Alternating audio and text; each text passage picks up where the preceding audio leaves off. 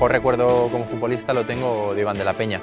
Fue el primer jugador que, que me impresionó, que vi que hacía cosas diferentes, que cuando cogía el balón sabías que iba a enseñarte algún pase que tú no veías desde la grada y fue el primero que, que me impresionó, el que tuvo un póster en casa. A pesar de que viví la época de Cruyff y Cruyff me gustaba mucho, el primero que tuve cercano y del que pude aprender cosas, aunque fuese indirectamente, fue de Bangal.